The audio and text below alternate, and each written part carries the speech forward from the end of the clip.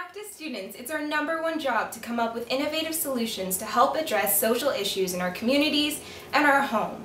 Our home is now home to thousands of more individuals who are inspiring, courageous, and strong, and who deserve a chance at a purposeful life.